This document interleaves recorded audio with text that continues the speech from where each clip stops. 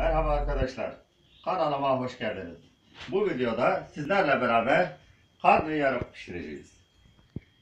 Malzemelerimiz 12 adet patlıcan, yarım kilo tavuk kıyması, 4 adet charleston biber, 2 domates, 1 tutam maydanoz, 2-3 diş sarımsak, ee, yarım çay kaşığı karabiber, aynı şekilde kimyon, nane, bir şeker kaşığı pul biber, bir miktar tuz, bir çorba kaşığı domates salçası.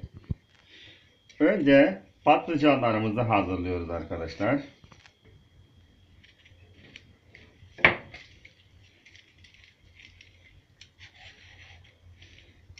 Bu şekilde arkadaşlar. Sonuna kadar çizmiyoruz.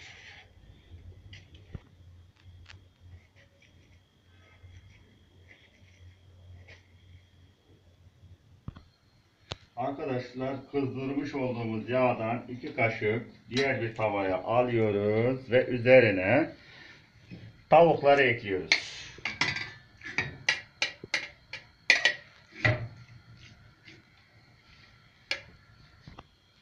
Arkadaşlar soğanımız bir ardaydı. Yakalayıp geri getirdik ve doğruyoruz.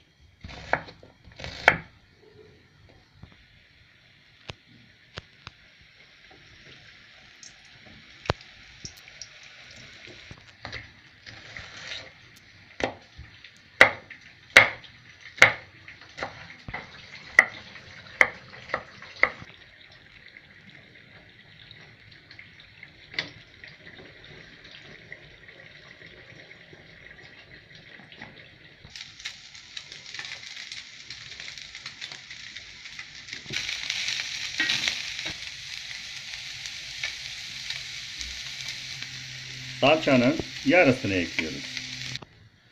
Geri kalan salçamızı ve baharatları bir bardak suya ekliyoruz.